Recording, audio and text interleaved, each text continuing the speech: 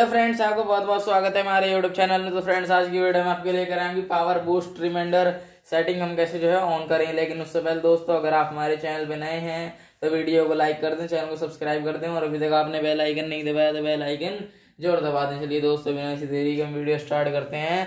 सबसे पहले आपको अपने फ़ोन की सेटिंग में जाना है। सेटिंग में जाने के बाद दोस्तों, आपको ऊपर करना है।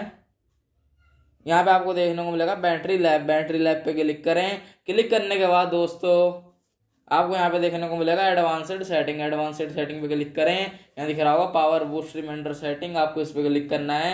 यहाँ दिख रहा होगा दोस्तों पावर बूस्ट रिमाइंडर सेटिंग आपकी ऑफ़ है, लेकिन हमें इसे ऑन करना है तो हम ऑन कर लेते हैं जैसे दे सकते हैं दोस्तों।